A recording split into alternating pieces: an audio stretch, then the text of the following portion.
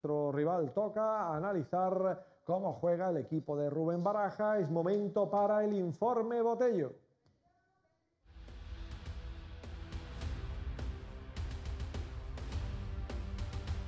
Como toda la semana, Isidro, dos pinceladas sobre el rival, en este caso nombres propios como Mosquera y Hugo Duro. Interesantísimo el central que juega como pivote en esa pareja eh, de jugadores que tienen salida de balón desde atrás, analizaremos luego en profundidad, pero sobre todo este partido ante el Getafe es la radiografía a la que hoy el Betis se puede enfrentar. Un partido que llevó al Valencia por la banda izquierda a tener con Gallá muchísima profundidad, adelantábamos la importancia de Ruibal y luego la manera de jugar con tres centrales, fíjense en ese espacio naranja entre los centrales y el centro del campo. Ahí va a estar la clave.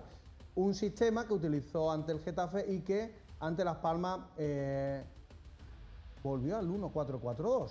No le dio resultado, fue pese a la expulsión de Pepelu un partido más de ida y vuelta, un Valencia que tira muy poco entre los tres palos adversarios y que tienen el cancerbero en Mamardavili el jugador diferencial. Lo que ocurre que es un portero que no juega fuera del área, es lo que suele pasar cuando se tiene muchos nervios, el cancerbero no sale y cuando el portero es el mejor futbolista de un equipo, eso quiere decir que recibe muchísimos disparos. Un Valencia en definitiva, Isidro, que necesita eh, una defensa de tres, que va a jugar por las bandas y que tiene mucho espacio en el centro del campo. Bueno, pues eh, detalles del juego del Valencia.